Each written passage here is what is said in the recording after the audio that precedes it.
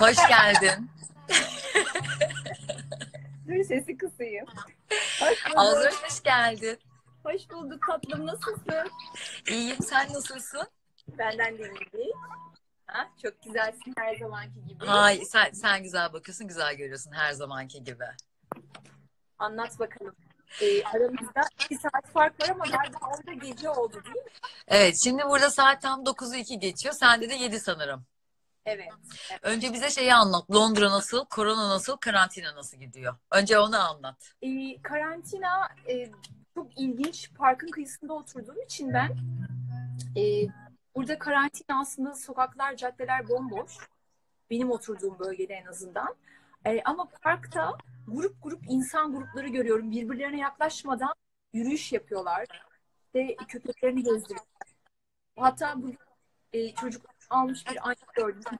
Böyle grup grup bir anne bir tarafta, diğer anne bir tarafta falan. Yani doğanın tadını çıkarmaya çalışıyorlar burada da insanlar. Ama Şimdi anne olunca ben bir şey diyemiyorum. Çocukları evde tutamıyor da olabilirler. Ben çünkü artık çocuğu evde tut- tutamadığım için yani ben de yarın çıkaracağım bahçeye gibi bir his var içimde. evet değil mi? Testosteron var sizin evde süre gelen. Fazla. Fazla o bana fazla testosteron biliyorsun bana iyi gelmiyor. Beni bozuyor yani bir süreden sonra. O yüzden çok, yani okul çok kıymetli bir şeymiş. Öğretmenler çok kıymetli bir meslek yapıyorlarmış. Ben bu süreçte onu anladım gerçekten. Şöyle bir şey söyleyeceğim Feyza. Şimdi e, biz aslında çok fark etmiyoruz ama insan dediğin varlık çok çok tehlikeli bir varlık. İnsan dediğin bu tehlikeli varlığın yavrusu da çok zor eğitilebilen bir yavru. Yani bak şöyle köpek alıyorsun. Köpeğe iki haftada çişini yapmayı öğretiyorsun. İnsana çişini yapmayı üç yılda öğretiyorsun. Yani anladın mı? Yani yavruları kıyaslarsan ama çok zor eğitilmesine rağmen sürekli sürekli gereken bir varlık. Bir kere eğitildiği zaman doğru şekilde eğitildiği zaman kendi kendini eğitmeye devam eden bir varlık. O yüzden de atlamamak lazım. Acaba kulaklar daha mı sizin için iyi olur diye düşünüyorum. Şey yayın biraz donuyor ve kesiliyor muhtemelen. Sen geç kulakla. Ben de bir dakika belki de daha iyi olacaktır muhtemelen. Çünkü donuyor muhtemelen. Senin sesin de bana kesik geliyor. Daha Ha, iyi olacak Ben, herhalde. ben şu an çok rahat duyuyorum seni. Süper. Tamam. Aynen. Azra bugün ne konuşuyoruz? Ee, bugün e, seni siyasetten uzaklaştırabilmek için Lütfen. çünkü senin kadar senin kadar renkli, e, dürüst, senin dürüstlüğünü çok seviyorum şükürler olsun. Gerçekten hani sadece e, dışarıdaki cephede değil, birebir ilişkilerinde de böyle e, çok çiğ olabilen böyle bir şey gibi bir bir yiyeceğe benzetsem seni hani böyle kırmızı soğan kadar dürüst olabiliyorsun. Olmasam daha iyi aslında ya. Yani o kadar da Hayır, dürüst hayır, hayır, bunu kaybetmeyeceksin. Tam tersi. Tam tersi e, biz sana benzeyeceğiz. Sen Ay, bize benzemiyorsun. O, Bana benzemiyor. Bu çok matah bir şey değil bu. hayır, çok matah bir şey. Göreceksin bunu. Çünkü bunun bir, bir değeri var bunun. E, ilişkilerinde de dürüst olduğunu gördüğüm için çok apaçık bir şekilde kendini ortaya koyabiliyorsun ve en önemlisi e, bu kadar renkli, bu kadar aslında diğer konulara da eğilimi olan bir insanın siyaset çukurunda e, debelenmesi biraz haksızlıkmış gibi geliyor bana. O yüzden hani e, bizi tanıyanlar bilirler. Ben hep e, Feyza'ya şunu söylüyorum yani bunu bilmezsiniz ama hep diyorum ki ya Feyza yani daha bir farklı bir lağım bulsak sana da orayı temizlemeye kalksan. Ya hayır Hani- şunu or- şunu söyleyeyim. Çünkü bir sürü genç bizi izliyor. Orada yanlış bir yönlendirme olsun istemiyorum. Ee, yine bir şekilde e, yönetime katılmak isteyen, söz sahibi olmak isteyen ve bir şeyler söylemek isteyen insanların yine gireceği yer siyaset olacak. Ee, o yüzden de evet siyaset zor. Evet birçok zorlukları var. Dediğin gibi bazen bir çukur benzetmesi güzel bir benzetme aslında. Hani bir e, çok konuda benzetilebilir aslında ama hani çok da şey yapmayalım ya. O, o konuda hani Bak insanlar şöyle, bu çünkü ben konuyu- bu istiyorum konuyu şöyle- gelsinler, bu konuyu şöyle geçelim. olsunlar. Bak çok doğru bir şey söylüyorsun. Çok doğru bir şey söylüyorsun. Çünkü yapılan bir araştırma var. İngilizleri dış işlerinde çalışan ve konsoloslukta çalışan bir akademisyen tarafından yapıldı bu araştırma ve bir bayan bu bu kadının bulduğu, biz zaten bir süre sonra makaleyi de yayınlayacağız. Bu kadının bulduğu bir şey var. Orta Doğu ülkeleriyle ilgili olarak.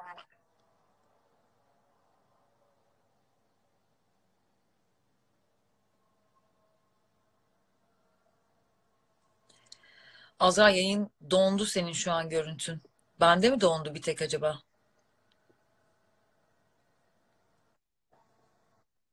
Yayın Bir dondu. arkadaşım aradı şimdi. Evet, bir arkadaşım aradı öbür taraftan. Şöyle, e, şöyle bir şey söylüyor. E, diyor ki e, bu Avrupa ülkelerinde diyor, pardon, Orta Doğu ülkelerinde diyor, genelde diyor e, işte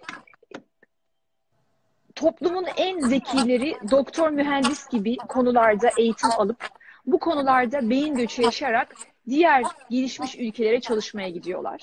Onların altından gelen diğer ikinci kademe, dört kademe var diyor. İkinci kademe zekiler e, kalıp işte öğretmenlikti, yargıçlıktı, hukuktu gibi e, toplumun içindeki düzeni sağlayacak mesleklerde, düzeni ve eğitimi sağlayacak mesleklerde çalışıyor diyor. E, üçüncüsü ise diyor, üçüncü aşamadaysa diyor, e, çok önemli başka bir şey var. E, aslında kendine hiçbir yerde yer bulamamış, bir meslek edinememiş insanlar siyaset yapıyorlar diyor.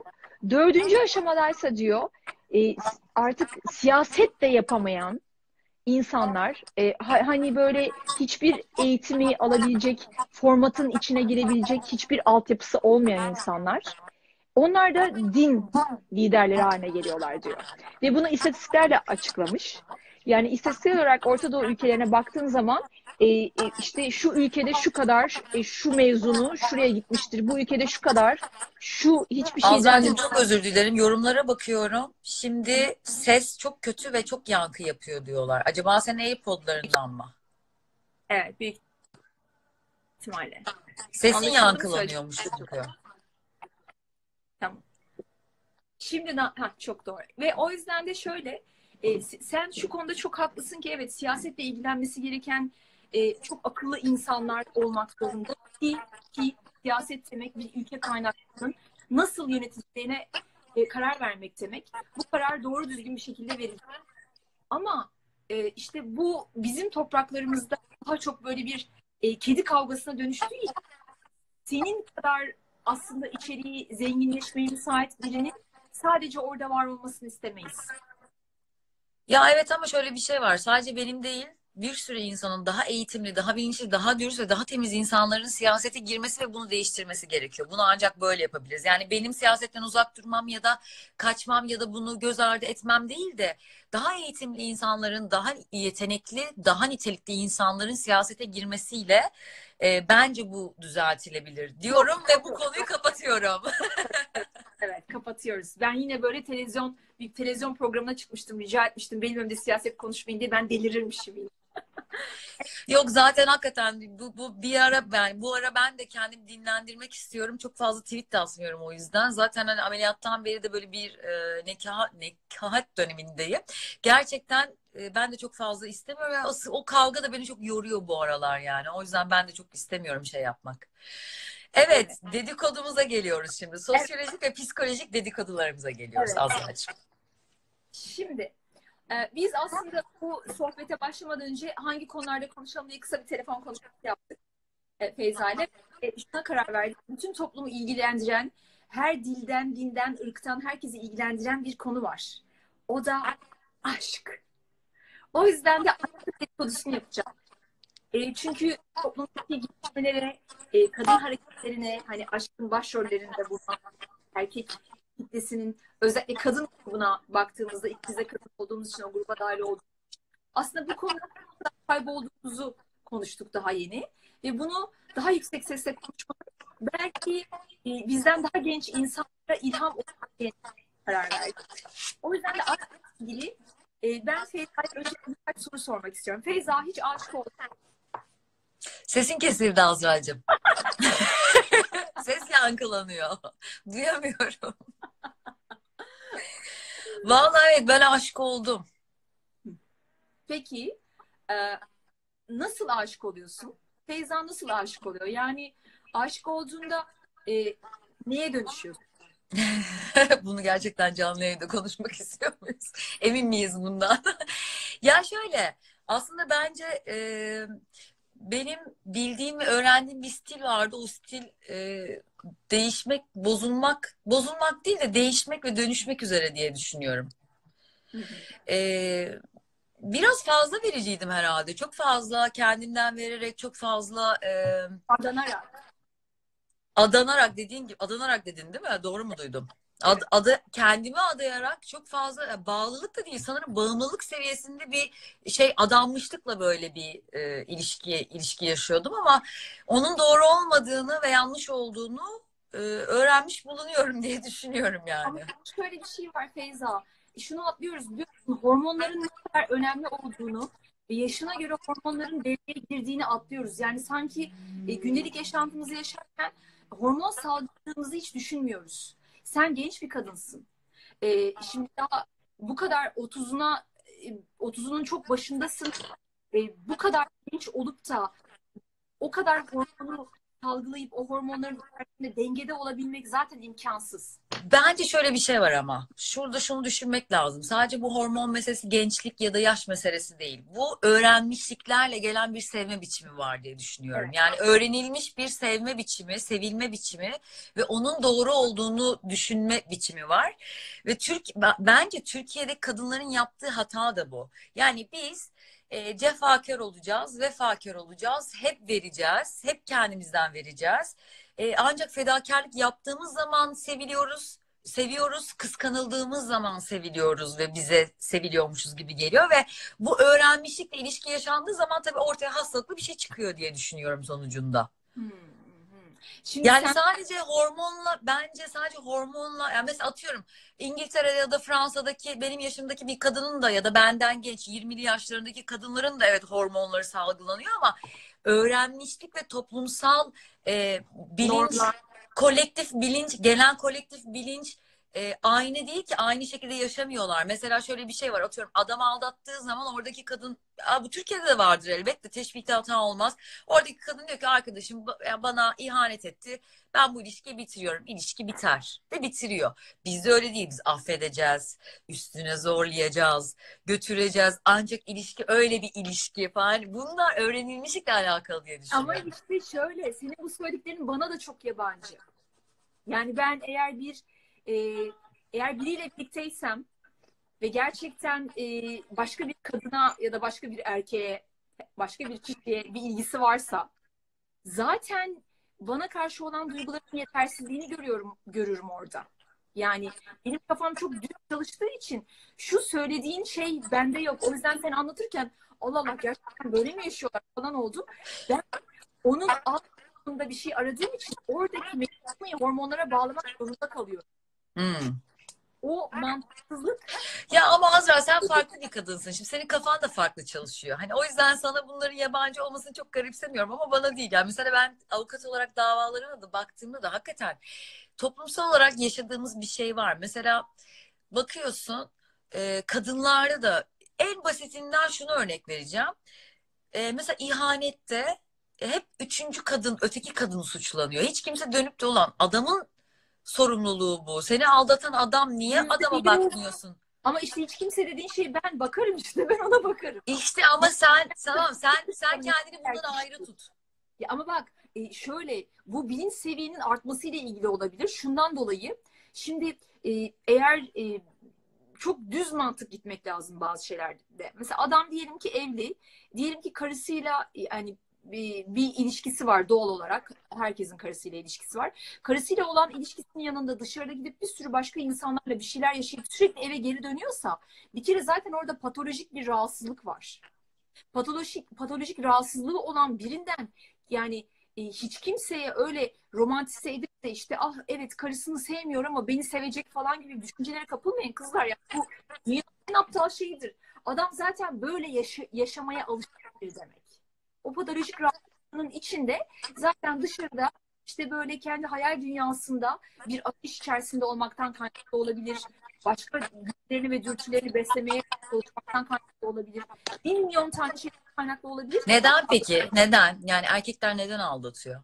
İşte Bir psikolog olarak bize bunu söyler misin? Çok Ben değişik. avukat olarak boşanma kısmını söyleyeceğim şimdi. çok çok çok çok değişik nedenleri olabilir bunun. Ee, ama en bence en önemli en önemli neden erkekler e, bir takım gerçekliklerden kaçmak için Azra bir dakika özür dilerim. Senin sesinde hala bir sorun var. Yorumlarda okuyorum. ne diyor? hep sesin yankılanıyor ve boğuk ve şey geliyor diyorlar. Değil mi? Allah Allah. E, ama şey e, yani bir daha bir Sesin daha yankı yapıyormuş. Bir dakika kapatıyorum o zaman bir daha mı açayım ne yapayım? Bir sen çık bakayım yayından tekrar alayım seni. Yapabilecek miyiz?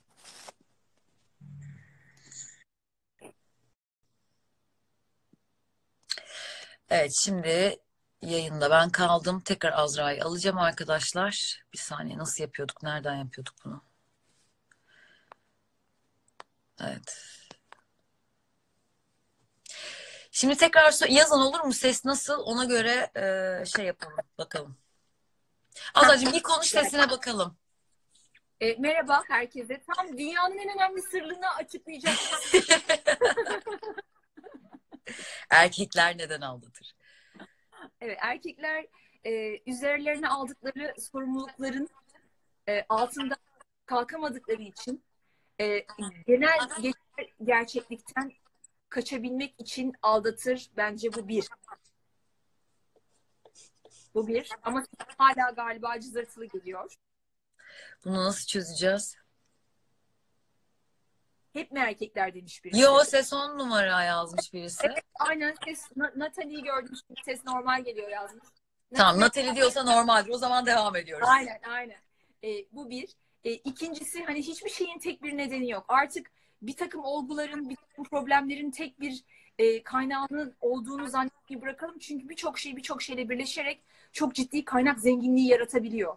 Yani kaynak kaynağı doğuruyor ve bir sürü aslında neden ortaya çıkabiliyor. Bence bu bir. Hani bir takım gerçekliklerden kaçabilme e, fantazisi diyelim buna. Bu bir. İkincisi e, aslında kendi karar verdikleri hayatı kuramadıkları için yani özellikle annelerinin babalarının seçimleriyle evlenmiş insanlarda bu. Bu erkekler ve kadınlar için de geçerli. Kendi karar verdikleri hayatı kuramadıkları için o hayat el altında gizli gizli kurma fantazisi diyelim iki. Hemfikir misin Feyza? Şimdi yorumumu söyleyeceğim. Düşünüyorum. Sen bitir. İki. Bu böyle ben ama 3000 tane falan sayacağım böyle. say say biz öğrenelim ya. Ondan sonra üç, en önemlisi üç, e, astrolojik bir nedeni var. Onu söyleyeyim. Mesela örnek vereyim. Çok, bu böyle küçücük bir kalıba sokmak gibi olacak ama e, yedinci evde Neptün varsa adamın yedinci evinde doğduğu anda e, Neptün yedinci evde yükseliyorsa o zaman zaten etrafında gördüğü her kadını e, kendi hayalindeki bir işte e, hayalindeki en mu- mu- muhteşem ilişki olasılığı olarak gördüğü için olasılıkların peşinden gitme hali vardır. Bu üç. Şey olabilir mi? Dördüncüsü hepsi bana, hepsi bana, hepsi benim olsun, hepsi benim olsun. Narsizm demek istiyorsun o. E, narsizmde şöyle bir şey var. Adam aslında o kadar o kadar büyük bir aşağılık kompleksine sahiptir ki e, kendisi sevildiği zaman bu dördüncü neden çok önemli bir neden ve çok en üzücüsü bence bu. E, kadın onu sevdiği zaman e, kadın onu sevdiği için şöyle düşünür kadınla ilgili. Bu kadın beni sevdiği için demek ki bu kadın pek de değerli biri değil. Çünkü çok akıllı ve değerli olsaydı Bu hastalıklı bir düşünce değil mi? Zaten narsizm kişinin kendisine olan e, kendi iç bağının kopmasından kaynaklı bir şeydir. Çok rahatsızlık verici bir düşüncedir ama en çok kişinin kendisine rahatsızlık verir. En çok. Şimdi o yüzden de bu dördüncü düşünce yani aslında aşağılık kompleksinin doyurulması fantazisi. Bu da şöyle işler. E, aslında e, birçok e, kadın tarafından değişik zamanlarda çok ciddi şekilde sevilmiş olsa da hala bir koleksiyon, koleksiyoncu gibi sevgi arar etrafta. O da şudur. içinde doyuramadığı bir açıklık, bir delik vardır. O deliği sürekli başka birileriyle kapatma çabasıdır ve bu hiçbir zaman kapanmaz. Bu dördüncü neden. Beşinci neden aslında gay eğilimleri vardır. Gay eğilimleri olduğu için gayliğiyle yüzleşmek yerine bir sürü kadında kendi erkekliğini arar. Ve birlikte Çok ol- saçma değil mi yani gay olmak e, kö- kötü ya da ayıp bir şey değil ki hani bununla yüzleşmesi Ama- daha sağlıklı değil mi? çok kolektif bir toplumuz. O yüzden de kolektif bir toplum olduğumuz içerisinde erkeklik dediğimiz şeyi e, işte e, belirli kalıplara sokmuş durumda. Hayır ama işte biz bunları yıkacağız yani. Hani biz bunlara Yüzde yüz karşı yıkacağız. çıkacağız. O yüzden Evet. Evet, yüzde yüz yıkacağız. Ama işte kendi e, cinsel kimliğini ulu orta yaşayamamış insanlar çok ciddi aldatabilirler. Yani e, görürsün bir sürü insandan insana sıçrayarak kendi cinsel kimliğini alenen yaşayamamış olmanın verdiği sancıyı aslında diğerleriyle e, kapatmaya çalışıyor. Evet ilk Aa, defa böyle bir şey duyuyorum. İlginç geldi bana bu. Evet, beş. E, böyle yani bu devam edebilir ama ben senin ne düşündüğünü merak ettim. Sen bana söyle. Valla ben bilmiyorum. Benim bir fikrim yok bu konuda. Ben ben daha çok sonuçları hani aldatmanın sonuçlarıyla ilgiliyim. Yani sonucunda ne olur? Hani e, hiç düşünmedim neden yapıyorlar bunu? Neden böyle bir şeye ihtiyaç duyuyorlar? Bilmiyorum. Yani şöyle kadınlar da aldatıyor ama ben kadınların bir noktada daha şey olduğunu düşünüyorum. E, daha duygusal olarak e, bağı kestiklerinde böyle bir şeye yöneldiklerini düşünüyorum. Hani böyle çok toplumsal cinsiyet rollerini e, beslemek istemiyorum bu, bu, bu ayrımı yaparken. E, ama erkeklerin özellikle Türkiye'de erkeklerin çok fazla kadınla birlikte olmasının bir e, erkeklik gösterisi olarak düşünüldüğünü ve o yüzden de bunun yapıldığı yani biraz bu tarafı da var. Er- Erkeklerin Aa, İslam o biraz skor- iyilik gösterisi. Onu söylemeye çalışıyorum. Yani istatistikler öyle söylemiyor. İstatistikler diyor ki eğer bir erkek gereğinden fazla yani bak çok güzel bir laf vardır. Çok kadın, yok kadın. Mantıklı o, o- yani duygusal olarak doğru evet ama şöyle bir şey var. Şimdi bunun da geylikle çok alakası olur mu bilmiyorum. Yani adamlar şimdi hani var ya böyle göster oğlum amca, amcanın pipini şeyi kültünde yetişen erkekler bunlar ve ne kadar çok kadınla birlikte olursa o kadar pohpohlanan, o kadar erkekliğine e, işte ateşine ateşi körüklenen ve daha çok erkek erkek hissettirilen erkeklerle birlikte yaşıyoruz. Haliyle böyle bir skor peşinde olmak tabiri vardır ya. Biraz ben öyle düşünüyorum. Biraz da şu var bence. Ya yine Türkiye'deki erkekler diye genellemek istemiyorum ama tabii yine öyle bir genelleme yapacağım mecburen. Kusura bakmasınlar. Feyza çünkü yaşadığımız bölgelere göre, yediğimiz şeylere göre bayağı organizm olarak farklılaşıyoruz.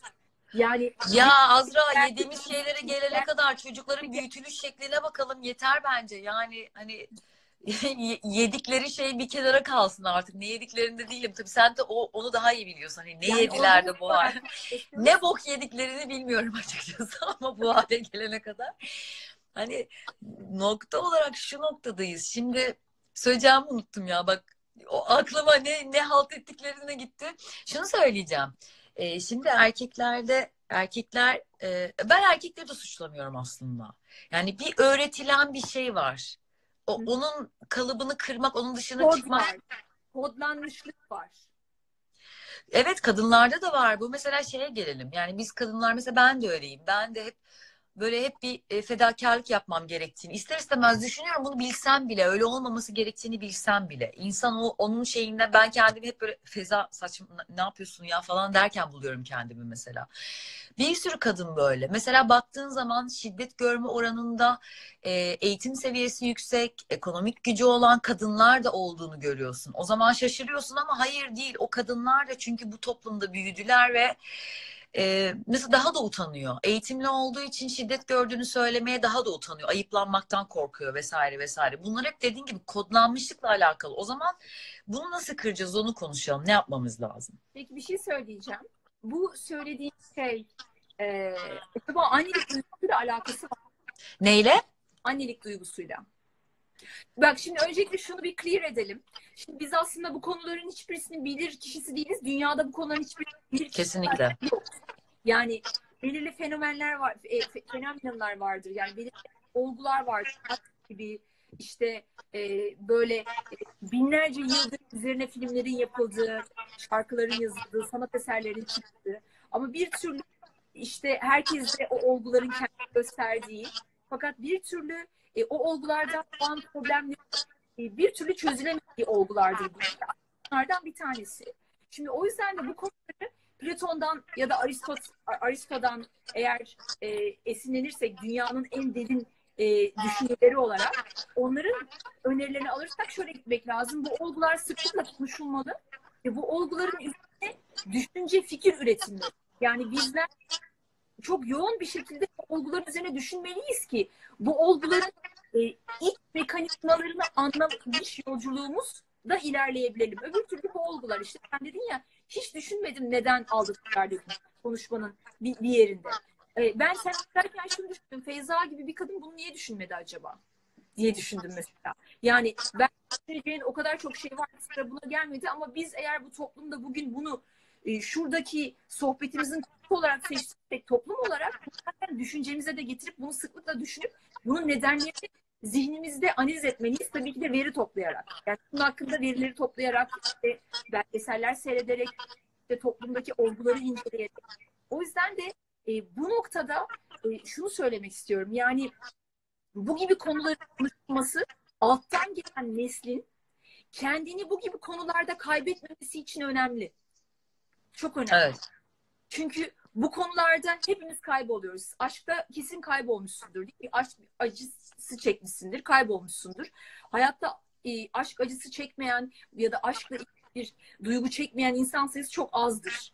Ve inan bu acıyı çok güzel geliştirir eğer analiz ediyorsan. Eğer kendini içkiye vermiyorsan, antidepresana vermiyorsan, uyuşturucuya vermiyorsan, saçma sapan gidip başka bir ilişki kollarına atmıyorsan bu acıyı oturup asabıyla çektiğinde o acıdan zaten doğum yaşarsın. Karakterinin daha önce var olmayan bir yönü doğar. Ve sen Peki. parça parça tamamlanırsın. Aşk acısı çeken arkadaşlar umarım bu kısmı dikkatli dinlemişlerdir. Peki bir şey soracağım. Demin not aldım. Annelik dedin onu not aldım. Sence annelik abartılan bir e, olgu mu? E, yani hani kadınlara yüklenen e, görev tanımı açısından söylüyorum. Ee, şöyle abartılan değil. Ee, çünkü bu annelik bir kere çok çok önemli ve çok e, gerçekten de e, belirli bir standardın üzerinde yapılması gereken bir şey. Değil mi? Belirli bir standardın altında yaptığın zaman zaten çocukta yansımalarını görüyorsun. Çocuk böyle antisosyal bundan müzdarip etrafındaki yaşamın canını okuyan bir canavar. Standart ne? O standart şu. E, çocuğa sevildiğini hissettirmek, kabul gördüğünü hissettirmek. Bak bunların hepsi birincil ihtiyaç aslında. Kabul görmek birincil ihtiyaçlardan bir yani çocuğu doyurmak değil mi? E, işte barınak sağlamak. Bak bütün Maslow'un piramidindeki birincil ihtiyaçların hepsi annenin görevi haline geliyor baktığında. E, ardından işte e, çocuğa kabul gördüğünü hissetmek, hissettirmek. Her koşulda ne yaparsa yapsın kabul gördüğünü hissettirmek. Bunlar annenin görevi. Bu Babanın görev- görevi değil mi bu? Yani babanın, Babanın da böyle görevi- görevleri yok mu? babanın yüzde yüz, yüzde yüz ama daha oraya gelemedik Feyza. Yani şimdi doğru oturup eğri yani eğri oturup doğru konuşalım. Yani şimdi e, annenin omuzlarındaki bu kadar yükün nedeni toplumdaki erkek kalitesinin baba olacak e, kapasiteye henüz e, o ayıklığa gelebilmiş olmamasından kaynaklı. O yüzden ben annelere yükleniyorum. En azından hani uçan bir kanadı en azından çalışsın ki. Ya ben şunu şunu düşünüyorum. Kadınlar büyük ölçüde bunun farkındalar zaten. Yani senin söylediğin şeyler anladığım kadarıyla maddi bir şeyden bahsetmiyoruz zaten. Çünkü ben orada şöyle bir itirazda bulunurum. Çünkü hani Türkiye'nin gelir ortalamasına baktığın zaman çok yoksul kadın var. Yani senin benim çocuğumuza ya da işte bu yayını izleyen ya da birçok eğitimli sta- yani hani orta vasat düzeyde diyelim hukuken vasat orta seviyede yani vasat düzeydeki hepimizin verdiğini veremeyen kadınlar var. Mesela mülteci kadınlar var. Yani ki onlar bugün hakikaten barınak sağlayamıyorlar çocuklarına. Hani e, şimdi ben hep bunları konuştuğumuz zaman hep onlar aklıma geldiği zaman böyle bir şerh düşmek ihtiyacında hissediyorum kendime. Yok, hiç- O yüzden Çok önemli bunlar. Ama işte bak toplum standartını belirleyen şey zaten o mülteci kadınlara da devlet yardım edebiliyorsa zaten toplum standartı dediğin şey yükseliyor. Şimdi Afganistan'daki annelik ölçüleriyle e, kalkıp Finlandiya'daki annelik ölçüleri aynı değil. Değil mi? Afganistan Evet ama ben şöyle şunu bunu böyle tartışalım istiyorum. Yani biz bunu yine de evet e, burada erkekleri de çok şey yapmak istemiyorum. Hani erkeklerin e, olgunlaşma şeyi de bu kadar da değil. Türkiye'de değil. ama bak nereye bağlanıyor? Nereye bağlanıyor? Erkeklerin olgunlaşma şeyi de yine anneye bağlanıyor. Yani şunu kabul etmek zorundayız. E, bu gezegende bu organizmik birlikte insanlık adını verdiğimiz bu organizmik birlikte kadının görevi çok büyük. Niçin? Çünkü kapasitesi büyük. Yani sen düşün şimdi e, dağa çıkıyorsun. E, e, işte dağdasın. Dağcıyla dağa çıkmışsın. Bir tane böyle minyon petit bir Feyza var. Bir de işte daha önce altı kere Everest'e çıkmış dağcı bilmem kim var. X kişi. Dağcı X var. Dağcıdan beklentimiz dağda, Feyza'dan beklentimizden çok daha fazla olur. Çünkü dağ onun orta. Bizim de gezegende böyleyiz. Kadın ve erkeği yan yana koydu. Çünkü artık eskisi gibi av, avcılık dönemini kapattık.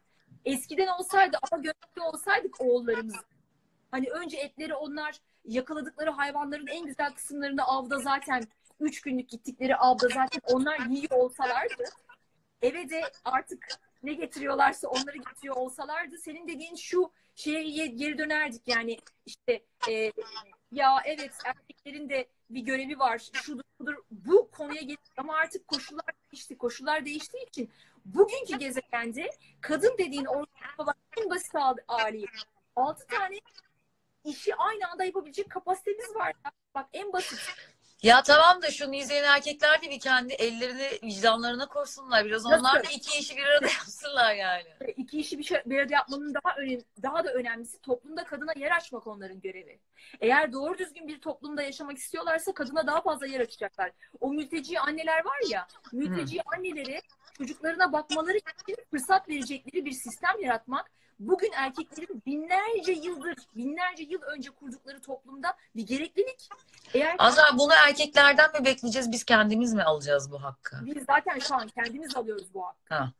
Tatlım benim. Yani Onlardan beklersek çünkü çok bekleriz gibi bir his var içimde yani. işte bak annelikte de buraya bağlanıyor. Onlardan beklersek çok bekleriz hissinin karşılığında sen doğurduğun varlığı beklersen çok bekleyeceğin birisine emanet edebilir misin? Doğurduğun varlık eğitimini, e, askerliğini, daha sonraki iş dünyasındaki yerini, her şeyini e, problemlerini birbirlerini öldürerek çözmeye çalışan bir organizmaya emanet ediyor. Yani. Bugün Yani- aklıma şey geldi onu anlatacağım. Azra ile telefonda konuşuyoruz. Benim oğlan dam dam dam dam vuruyor bir yerleri. Azra telefondan böyle böyle testosteron Feyza bunlar yönetiyor işte dünya yönetiyor. Ama nasıl vuruyor? Çat çat çat çat. Bak, Hakikaten yani. Yani testosteron, şimdi bak ben bir abiyle büyüdüm. Benden 4 yaş büyüktü ve abimin bugün hala seyrediyorlardır. Etrafında çok çok sevdiği ve hala bugün e, ben İzmir'e gittiğimde bir ev toplantısı yaptığımızda yemek yediğimizde hep birlikte toplandığımız 6 tane arkadaş vardı. İsimlerini de sayarım sana yani. Bahadır abi, Emre abi yani bunlar benim böyle abimin yanında e, annemin doğurmadığı ama aslında abimin yanında abim olarak büyüdüğüm erkekler. Ve e, bu insanlar işte e, bir aradayken e, bir balkonda sohbetleri vardı. Ben de hep iç tarafta odada otururdum. Yaz akşamları pencereyi açardım. Doğal olarak onlar balkonda sohbet ettikleri için bütün konuşma içeriye gelirdi. Ve ben muhabbet bir erkek muhabbetiyle büyük bir kız çocuğuyum. Yedi tane erkeğin arasında. Ben onlarla hayatımda ilk defa bara abilerle gittim. Başka da zaten yani gitmedim. Hayatımda ilk defa gece dışarı onlarla çıktım. İlk defa tatile onlarla gittim. Düşünebiliyor musun? Bir ben bir de etrafımda kalabalık bir erkek grubu ve hepsi benim abim. Yani o yüzden de muhabbetin nasıl döndüğünü inanılmaz iyi biliyorum. Yani şimdi burada çok detaya girmeyeceğim. Lütfen Ee, girme lütfen. Canlı yayındayız lütfen rica ediyorum. Ama şöyle söyleyeyim sana. Yani erkeklerin arasındaki kadın muhabbetini çok çok iyi biliyorum. O yüzden de e, Bir kere Bunun- çok değişmesi muhabbet ediyorlar. Onu senin abilerin için söylemiyorum. izleyenler için söylüyorum. Bir sürü adam, genç adam da izliyor. Azıcık şimdi şu avukatlığım tuttu şu anda böyle şey elinde sopayla. Ee, yani o benim hoşuma gitmiyor ya. Bu kadar böyle kadına meta ve nesne ve cis şey muha- e, muamelesi edilmesi benim hoşuma gitmiyor. Ben duyduğumda gerçekten yani benim yanında yapsa ağzına çakarım bir tane. şimdi anneye döneceğim. Şiddet eğilimim ortaya çıkıyor canlı yayında. Anneye döneceğim. Anneye gelelim. Hemen anneye gel. Annenin ne kadar etkili olduğuna gelelim. Ee, oğlu, oğlu, teenage oğlu. 12 yaşında işte yavaş yavaş teenage olmaya başlıyor. Hani e, erkeklik hormonun devreye girmeye başlıyor. 12 ile 16 yaş arasındaki oğlu bir kızla çıktığında, bir flört ettiğinde annenin tepki, annenin verdiği tepkide, babanın verdiği tepkide çocuk kimlik buluyor aslında. Doğru. Anladın mı? Yani ve doğal olarak evde bütün olaylardan haberi olan kesim kim? Anne. Biz ataerkil bir aile yapısı gibiyiz ama evin içindeki haberleşmenin sorumlusu annedir genelde. Anne öğrenir her şeyi ilk önce baba değil. Bizim kendi kolektif yapımızın içinde. Şimdi burada eğer kadın yetiştirdikleri çocuklarla olan e, diyaloglarına dikkat ederlerse, e, çocuklar işte birbirleriyle flört etmeye başladıklarında, erkek çocukları, kız çocukları beğenmeye başladıklarında, erkek çocuklarına bir takım öğretilerde bulunurlarsa o zaman toplum zaten değişecek. Evet. Yani bu bu bu, bu yine bak yine yani anne de bitiyor ya da babanın o aslanım koçum benim bilmem ne bilmem ne muhabbetin arasına girip anne bir dakika ya sen benim oğlumla ne biçim konuşuyorsun? Benim Yalnız var şurada bir şey düşeceğim söylediğine. Yine anne de bitiyor şeyini kabul etmiyorum. Çünkü kadına bu kadar her şeyi yüklemek evet anlıyorum ne dediğini ve ha- doğru söylüyorsun. Hemfikirim. Çünkü evet karşısındakini yapmayın, yapmayınca kadın ne yapsın? Mecbur iş başa düşüp yapıyor. Bravo. Me- Bravo. ama ama şurada bu böyle deyip bunu böyle kabul etmiyorum. Şunu söylemek istiyorum. Ebe adamlar yani siz de istedikleri kadar bilmesinler. Bana ne kardeşim o da benim sorunum değil yani. O zaman bu e, şeylikleri, cehaletlerinin bedelini de kendileri öğrensinler, kendileri. Yani bu erkeklerin yapmadığı bir şey için yine kadınlara bir görev yüklemeyelim. Orada erkeklerin yapmadığı Ama- şeyi erkeklere söyleyelim. Bak çok haklısın. Çok haklısın. Ee, sana şöyle bir hikaye anlatayım. İsim vermeyeyim. Ee, ya da sen, sana seninle ke- kendi hayatından bir soru soracağım sana. Söyle. Hayatında evde ekmek olmadığı halde bir türlü ekmek almaya gitmeyen erkek tanıdın mı? Yo. Yani bilmiyorum. O çok şey bir soru oldu. Hani Yani evde ekmek yok. Problem şu. Problemin e, cümle haline dönüştü. bir de sorumluluk almayan erkek sorusu herhalde bu. Evet ama Ya ekmek özelinde değil ama evet sorumluluk almayan erkek hayatımda oldu. Ba- e, evet hiç sorumluluk almıyor. En basite indirgen evde ekmek yok. Ev, ekmek alınması lazım. Kadın mutfakta yemek yapıyor. Niye? Çünkü yemek yapma görevi binlerce yıl önceden ona verilmiş. Binlerce Ki binlerce yıl önceden verildi diye devam etmek zorunda değil. Tekrar söylüyorum. Evet, evet. Değil. Zorunda değil. Bugün artık zorunda değil. Çünkü binlerce yıl önceden niye ona verilmiş? Av, ava adamlar gidiyordu. İşte e, avladıkları şeyi yakalayıp önce bir karılarını doyuruyorlardı. Bazen üç gün, beş gün, bir ay bazen avdan dönüyorlardı. Yani kocaman dev işte e, hayvanlar yakalayıp getiriyorlardı. Düşün. Döndüklerinde kadın onu pişiriyordu. O e, avladıkları hayvanı düzgün şekilde parçalara ayırmak işte ne zaman ne kadar yeneceğini planlamak kadının göreviydi. Bak daha önemli bir şey söyleyeceğim. Neden? E çünkü kadın çocuk doğuruyor. Çocuğa bakması lazım. Çocuğu bırakıp ava gidemez ki. Emziriyor çocuğu. Çocuğu neyle emziriyor Fetha kadın? Kendi kemiğinin suyuyla emziriyor. Yani su içiyor. İçtiği su vücudunda e, kemiğinden kalsiyum çekiyor. Şimdi bir şey söyleyeceğim ama. Şimdi o zaman yapılmış bir iş bölümü var. İşte erkek ava gidiyor, avı getiriyor, kadın pişiriyor, çocuğa bakıyor falan filan. Ama şimdi şöyle bir şey var. Ee, kadın da çalışıyor.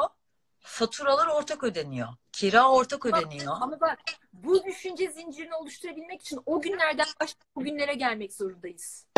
Bunun mantıklı bir konuşmaya dönüşebilmesi için o gündeki koşullarla kurulmuş bir medeniyette olduğumuzu kabul etmek zorundayız. Ne, neydi o gün koşullar? İşte bu bahsettiğimiz koşullar. Şimdi bu görevlerin hepsi kadının üzerine kaldı. E bu, bu görevlerin hepsi kadının üzerine kalırken kadın aslında gelişti. Nasıl gelişti? Yani o azıcık yiyecekle 8 kişiye bakmanın yollarını bulmaya çalışırken bu bir problem problemleri çözmeye çalışırken Evrimleşti. Evet. Yani eli çekip çevirmeye çalışırken gelişti. Çocukları yetiştirme ya düşünsene küçücük bir canlı doğuruyorsun. Hani böyle e, işte 4 kilo doğuyor değil mi? 3,5-4 kilo doğuyor bebek. O bebeğin hayatta kalmasından sorumlusun sen. Yani bu bir insanı geliştirir Feyza. Yani erkek Tabii. Ben o yüzden de bugün bir sürü insan biliyorum evde ekmek yok. Karısı hem yemek yapıyor mutfakta aldır buldur hem ekmek almaya gidiyor hem pazara gidiyor alışveriş. Peki bir soru. Kadınlar bu süreçte gelişiyor. Erkekler ne zaman gelişecek? Yani hani sadece av, av, av- artık avlanmıyorlar. Hani şey Yok. getirmiyorlar. Tamam. Şimdi biz daha toplumun içinde aktif olmaya başladığımızda onlar da bu e, gelişmiş işletim sistemini sadece iki tane bir kenara bırakıp daha da kendilerini geliştirmek zorunda kalacaklar. Biz daha aktif olacağız. Birinci kural. E, problemlerimizi, birbirimizi, evlatlarımızı birbirlerini öldürmek savaşa göndermeden çözmeyi öğrenmek zorundayız bu gezegende artık. Bu dünyanın en büyük salaklığı.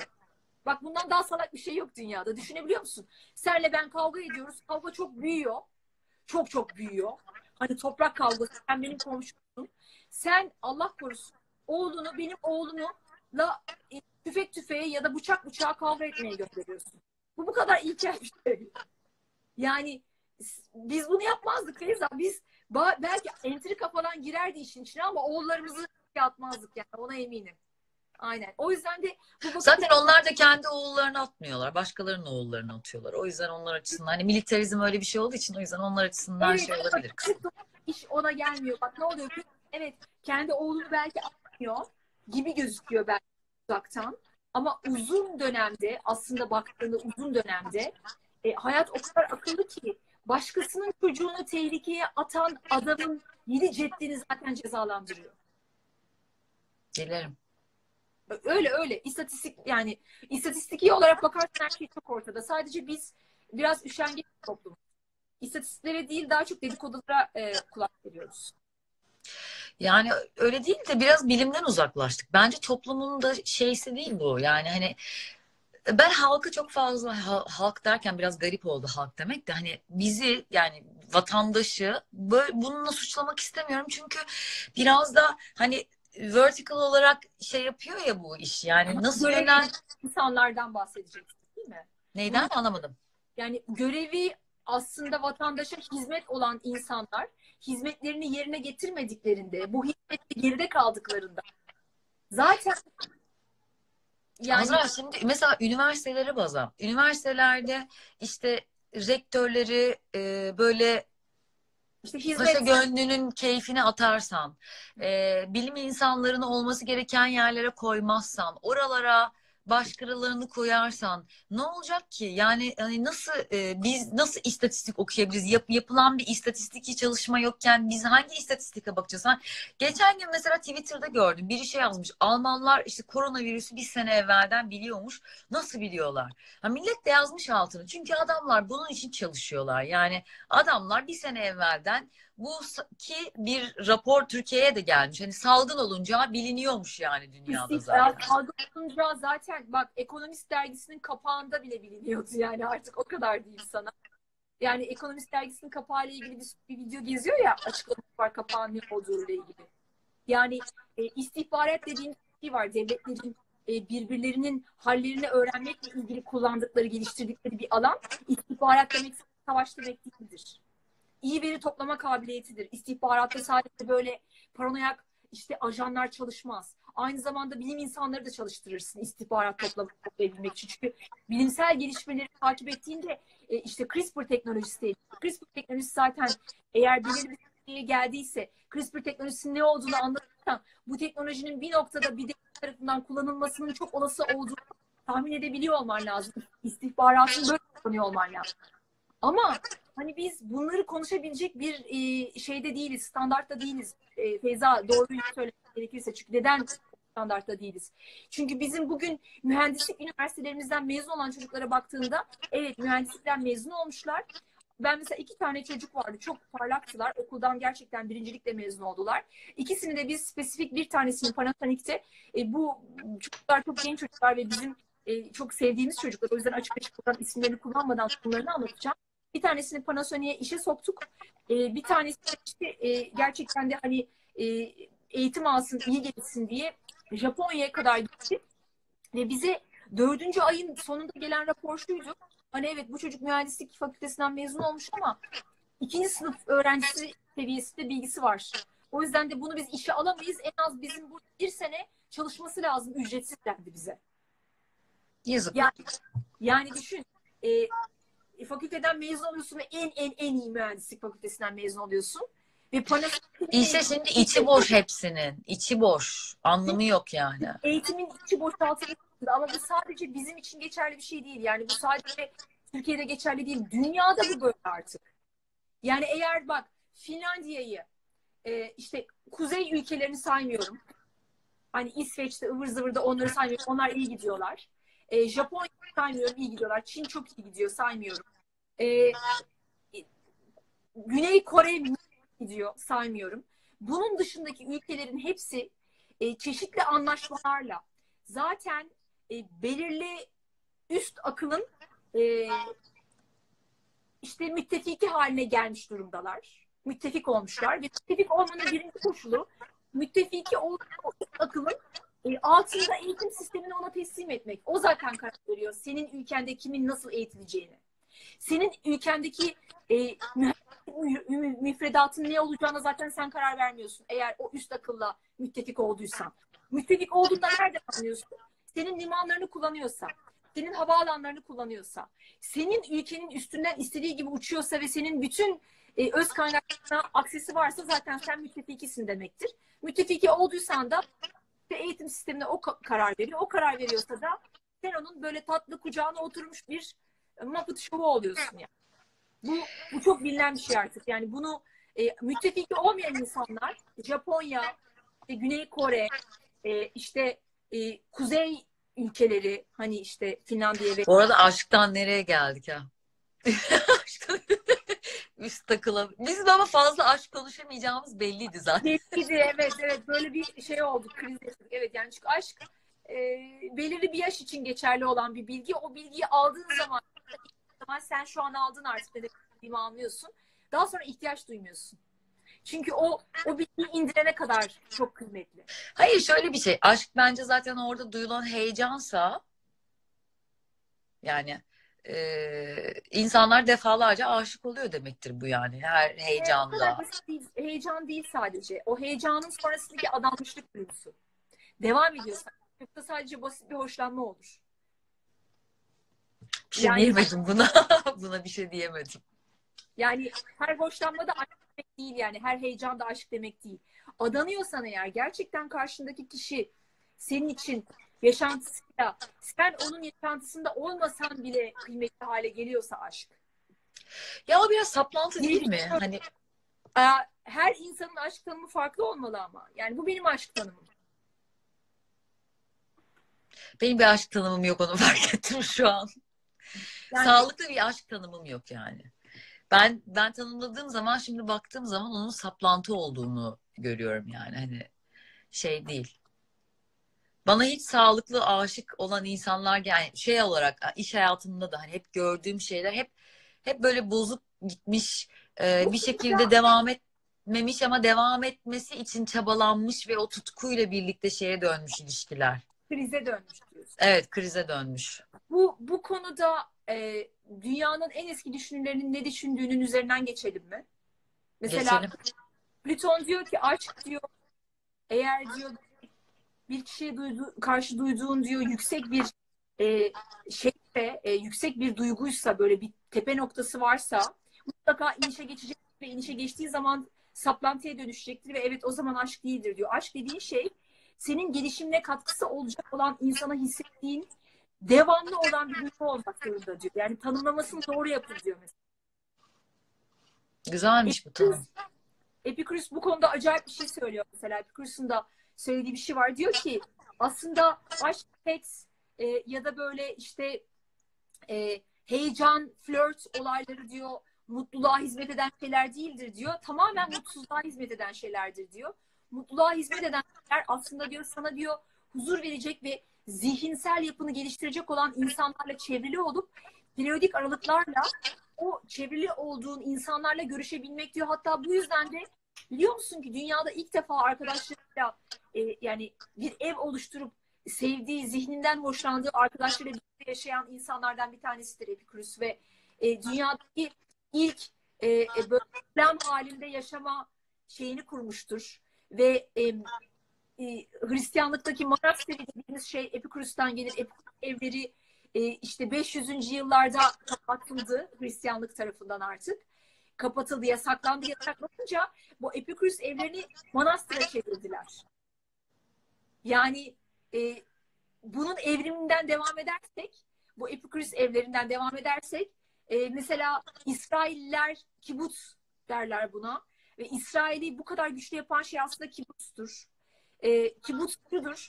Paranın geçmediği fakat her insanın belirli aralıklarla her işi yaptığı ve her akşam, öğlen ve sabah kahvaltısında, akşam öğlen yemeklerinde e, sohbet edilme zorunluluğu olduğu, sohbetin temele geçtiği e, yerlerdir bunlar.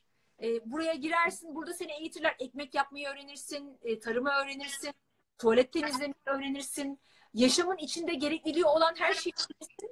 Çünkü kendine yeterliliği öğrenirsin. Ee, budur yani. O yüzden aslında e, geçmişe en en en eskilere gittiğimizde bugün süre gelen her şeyin aslında e, böyle geçmişin antik düşünürlerinin düşüncelerinden ve Roma'daki uygulamalarından geldiğini göreceksin. Ve çok şaşırtıcı bir şekilde göreceksin. Ya onu zaten hukukta gördük. Hukuk okuyanlar da görmüştür Roma hukukundan. Ay korkunç bir şeydi benim için Neden ama biliyor musun Feyza? efendim Neden biliyor musun Ha. korkunç nedeni? Ee, dünyada yenilenmeyen tek bir şey var. Bak her şey yeni- yenilenmeyen mi dedin? yenilenmeyen. Ha. Yenilenmeyen, kendini yenilemeyen, kendini yenilememiş tek bir şey var. Bak giyim tarzımız, kıyafetlerimiz, saçımız, başımız, e, izlediğimiz filmler, izlediğimiz filmlerin konuları. E, bunun içinde yediğimiz yemekler, değil mi? E, bindiğimiz arabalar, atlardan at, araba, at arabalarına, at arabalarından motor taşıtlara, motor taşıtlardan da bugüne kadar geldi. Hepsi hepsi değişti. Değişmeyen tek bir şey var. Ne bu? İnsan mı? Eğitim. Eğitimimiz antik bir eğitim. İlk insanlar birbirlerini nasıl e, eğitiyorlarsa sanayi devriminden beri e, belirli bir prototipe sokulmuş eğitimin sanayi devrimi oldu. Sanayi devriminde bir eğitim standardı getirildi. Biz halen sanayi devriminde getirilen eğitim standartını uyguluyoruz. Bu değişmek zorunda. Bu değiştiği zaman bütün aşk, işte annelik, babalık, erkeklik, kadınlık bütün bu olgular zaten olmaları gereken şeye dönüşecekler. Sence peki bu korona salgını böyle bir değişim yani bu süreçten sonra böyle bir değişim gelebilir mi? Böyle hep e, komplo teorileri var ya işte bundan sonra sistem değişecek, bundan sonra artık farklı şeyler olacak. Bu değişimi e, tetikleyecek olan ya da değiştirecek düzen bu olabilir mi?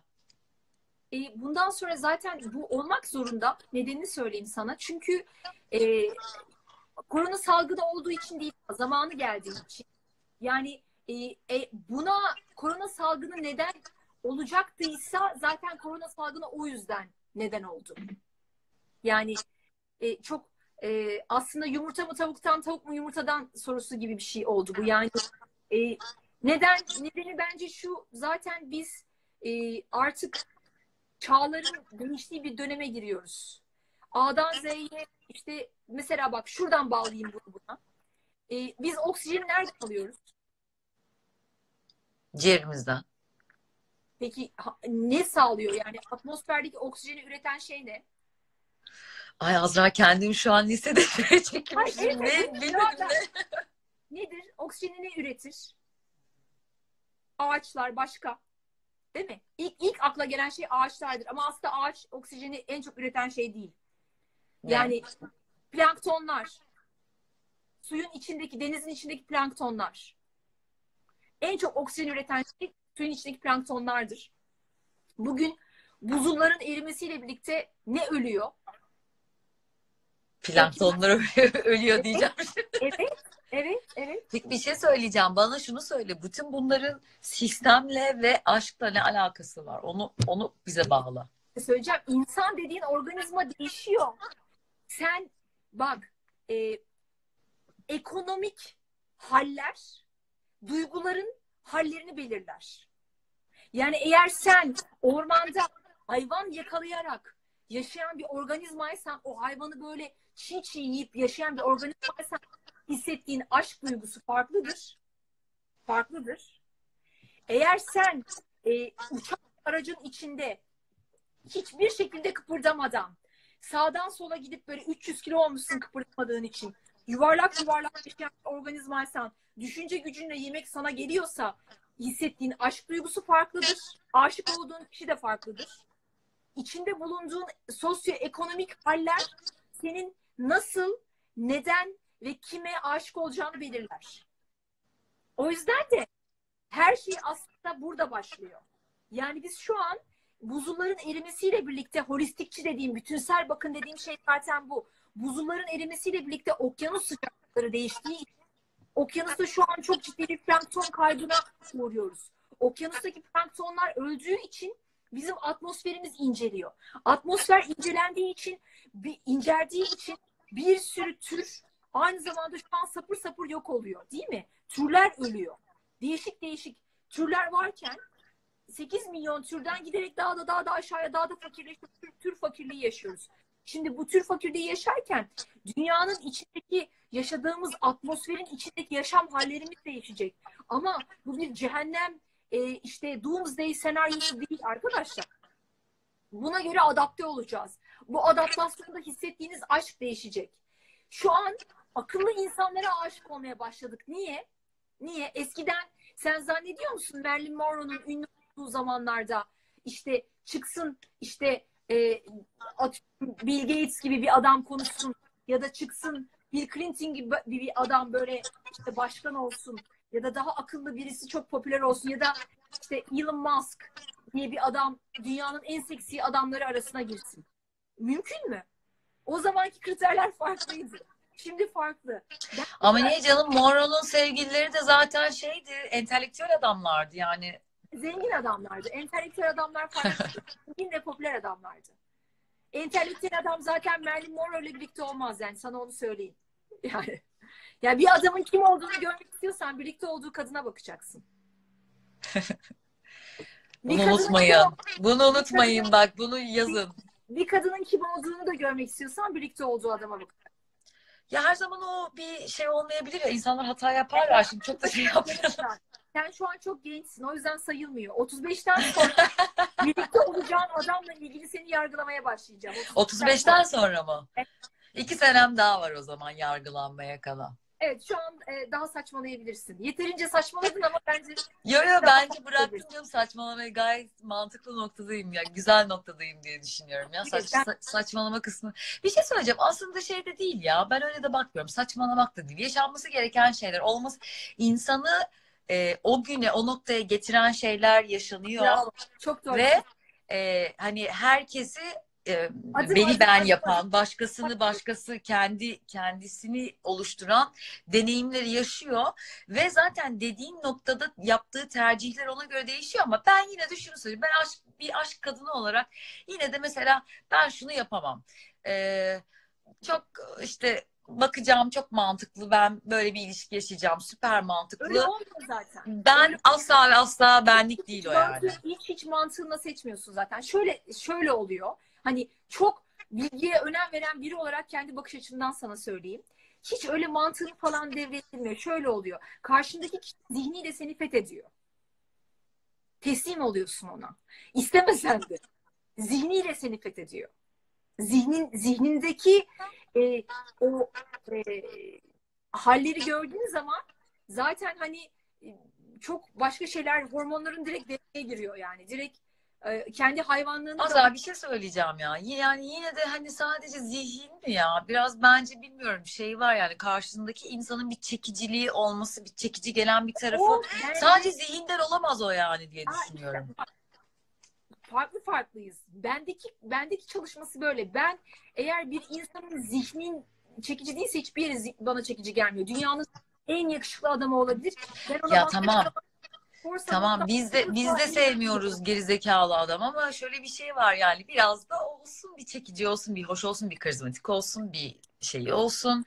Ee, hani yakışıklı olsun dediğin gibi hani şey e, aklı olmasın dünyanın yakışıklı adamı olsa yani herhalde bilemedim.